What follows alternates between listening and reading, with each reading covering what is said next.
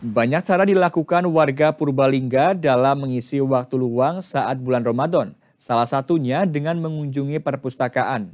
Selain untuk ngabuburit menunggu waktu berbuka puasa, membaca buku di perpustakaan juga dapat menambah wawasan dan pengetahuan.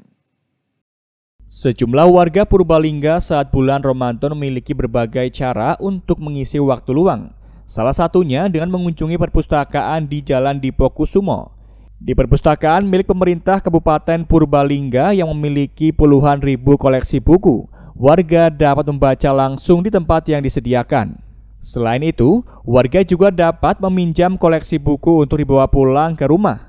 Salah satu warga Purbalingga Adit mengatakan ia mengunjungi perpustakaan untuk mengisi waktu luang saat bulan Ramadan. Sering kan ini lagi bulan Ramadan, bulan puasa. Jadi kan mesti ada waktu luang di rumah. Daripada di rumah nggak ada kegiatan mending saya ke perpus gitu biar nambah wawasan.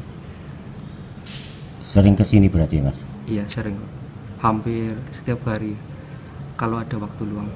Adit menambahkan selain untuk ngabuburit menunggu waktu berbuka puasa. Dengan membaca buku-buku koleksi perpustakaan diharapkan dapat menambah pengetahuan.